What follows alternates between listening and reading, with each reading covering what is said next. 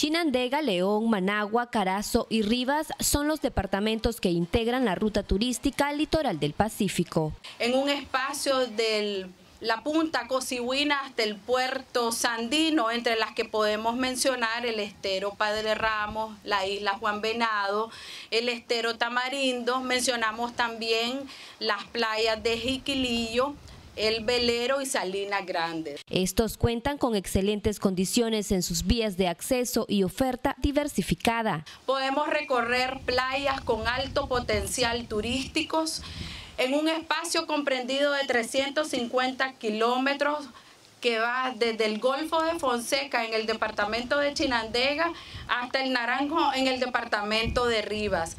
Actividades complementarias también como surf, buceo, velero, pesca deportiva y también el avistamiento de ballenas. En esta ruta se identifican más de 4.800 empresas turísticas listas para ofertar sus servicios. Vamos a tener este, un beach party en la playa para que gocemos y nos divertamos todos